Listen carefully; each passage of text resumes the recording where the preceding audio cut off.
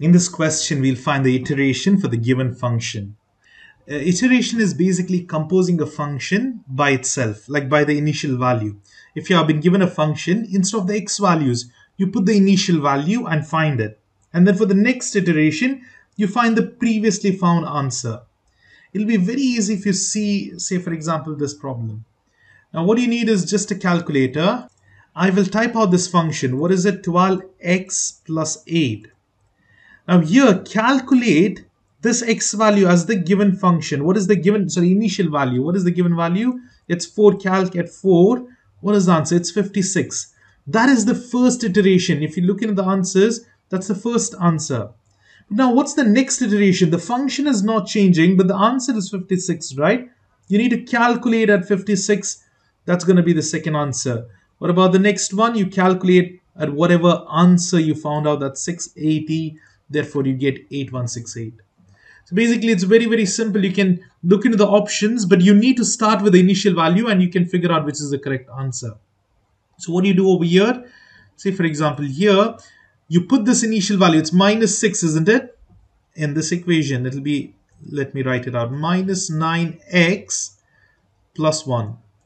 Calculated at minus 6. We got 55. That's the first answer. Now calculated at 55. That'll be the second iteration, minus 9494. Calculate, okay, again, I'll just put it over here directly, minus 9 times minus 494 plus 1 you will get the answer. That's the last answer. But it's better to put in terms of variable and then calculate at different x values. So all these problems just like that you can solve it very easily.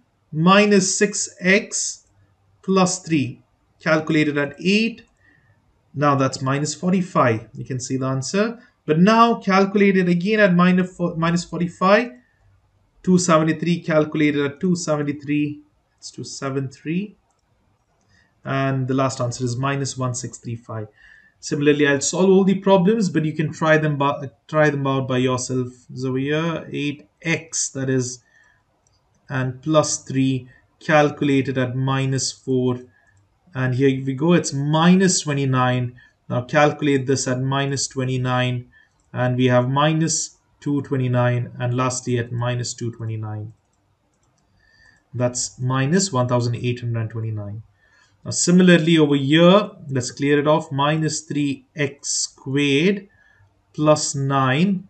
Calculate this at 2. Minus 3 and then calculate it at minus 3. It's minus 3. It's minus 18 and lastly calculate that at minus 18. See it's squared, it'll become a huge number, minus 963. Sorry, it's a very small number because it's negative. And 4x squared plus 5 starting with minus 2 here. 21 calculated again at 21 and that's 1769 and lastly 1769 here we go. That is the that's a huge answer. It's 12,517,449 so those are the answers. Similarly here you can do it for any equation. Iteration is very very simple. And this is in the electronic part. You don't need to write anything. You can write it out. That is substitute this 6 instead of x solve it up. And again put that answer instead of x solve it up. Rather than that put it in the calculator calculate it at different uh, values. That's 6 the first answer is 43 but what about the next one? 43 over here. That'll give you 3484 and lastly 3 3008 uh, 3484 gives you it's a huge number again 24,259,093. What about this one here? Minus, let me clear it off, minus 0.25 x squared plus x plus 6. Calculate at the initial value of 8 and it should be minus 2. And then calculated at minus 2. It is 3. Calculated at 3, it's 6.75. Similarly, try them. It's x squared plus 2x and plus 3. Calculated at half. You can write it as 0.5 or you can use this symbol. But here, it will not be a fraction. You need to press 1, then this one and then 2. or you can use division or you can use 0, 0 0.5 you can use this as well it's the same thing it'll be 4.25 that's the first answer then calculate it again at 4.25 and here we go. It's 29.5625 and you can calculate it the answer.